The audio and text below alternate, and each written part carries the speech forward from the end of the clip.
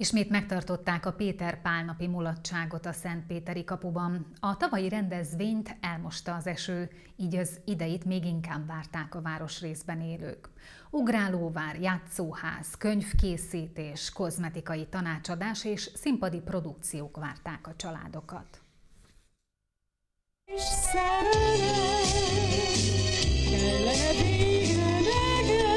Eperjesi Erika és Kriston Milán operett műsora szórakoztatta a közönséget a Kassai úti Rónai Ferenc általános iskola udvarán. Idén ismét megrendezték a Péter Pál napi mulatságot. Ezt a napot különösen várták a Szentpéteri kapuban élők, mert a tavalyi rendezvényt elmosta az eső. Szinte hagyomány, ugye? Persze hét év után, hogy ne lenne hagyomány. Így van. Örülünk neki, hogy ilyenekre is gondolnak.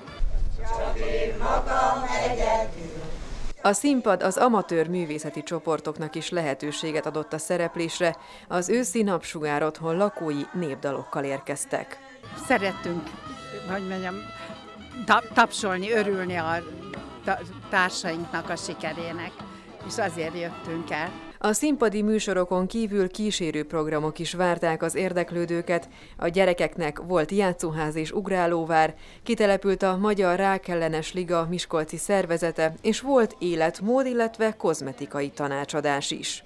Segíti a hidratáló felszívódását. A rendezvény kicsalogatta a Szentpéteri kapuban élőket az otthonukból, és pont ez a célja 7 éve a Péter Pálnapi mulatságnak. Azt hiszem, hogy minden évben sikerül egy olyat összeállítani, egy olyan műsorsorozat, vagy olyan műsorrendet, ami a korosztály széles korosztályt érint meg, és most is azt hiszem, hogy úgy van, hogy a fiataloktól, a családokon keresztül egészen nyugdíjasokig mindenkinek az ízlését szépen lefedi. Isten éltesse a Pétereket és a pálokat. A rendezvényen Csöbör Katalin is köszöntötte a mulatság résztvevőit. Az országgyűlési képviselő úgy fogalmazott, fontos, hogy a régi hagyományokat felelevenítsük. Itt most arató napot, Péter Pál napot is tartunk egyben. Igaz, hogy itt nem látjuk a búzaföldeket, de hogy Magyarországnak fontos a búza, a kenyér, és akkor ennek megadjuk a módját. Úgyhogy én gratulálok itt a szervezőknek, és meg is köszönöm nekik ugyanakkor, hogy meghívnak erre az alkalomra. Péter és Pál napja a néphagyományban az aratás kezdeteként vált ismerté, sokfelé ekkor kezdték vágni a búzát.